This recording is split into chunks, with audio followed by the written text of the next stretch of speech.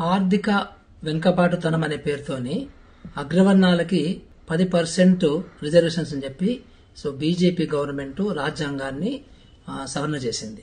So దానికి సంబంధించి supreme court మనకి మొన్న జడ్జిమెంట్ కూడా ఇచ్చింది అపీల్ చేసుకుంటూ.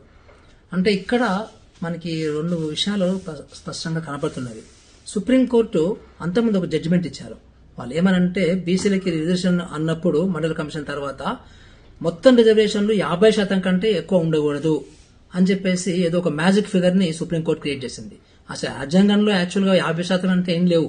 సో వెనుకబాటు అంటే సామాజిక వెనుకబాటుతనం ద్వారా ఎంతైనా గవర్నమెంట్ రిజర్వేషన్స్ ఇవ్వచ్చు అనేది మనకి రాజ్యాంగంలో కనపడుతుంది.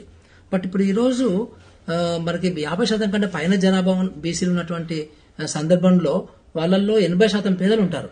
వాళ్ళకేమో ఇరవై ఏడు పర్సెంటే రిజర్వేషన్ ఇస్తారట. ఇప్పుడు పదిహేను పర్సెంట్ జనాభా ఉన్నటువంటి ఓ అగ్రవర్ణాలకు సంబంధించి వాళ్ళలో పేదవాళ్ళు మనకి పదిహేను పర్సెంట్ రెండు పర్సెంట్ మాత్రం కంటే ఎక్కువ ఉండరు. మరి వాళ్ళకేమో పది పర్సెంట్ మనకి రిజర్వేషన్ ఇస్తారట. అంటే ఇది ఎట్లా ఉందంటే సుప్రీంకోర్టులో అంటే వడ్డించేవాడు మనవాడైతే మనం ఎక్కడ కూర్చున్నా ఒకటే అన్నట్టుగా కనబడుతుంది మనకి క్లియర్గా ఇప్పుడు అదే మనకి సుప్రీంకోర్టులో అదే జడ్జిలలో ఇప్పుడు ఉన్న వాళ్ళందరూ అగ్రవర్ణాల వాళ్ళు. అందులో బీసీలు ఎస్సీ ఎస్టీలు కూడా ఉండి ఉంటే ఈ తీర్పు ఇంకోలా ఉండేది. అంటే మన దేశంలో కులాలను బట్టి తీర్పులు ఉంటవి కులాలను బట్టి పాలసీస్ ఉంటాయి అనేది చాలా స్పష్టంగా మనకి ఎప్పటికప్పుడు కనబడుతుంటది.